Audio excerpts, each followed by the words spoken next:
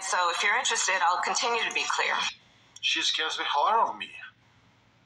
Screw the brain. When folks vote, they order what they want, and in this case, they got what they asked for. I went off script a little bit.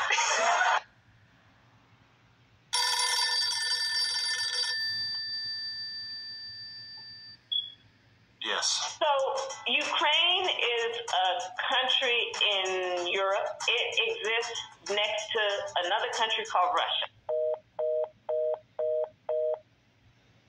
Bruh. We campaign with the plan. Uppercase T, uppercase P. The plan. Relax, Peanut, relax. Do you plan to visit the border? Um, not today. before, and I'm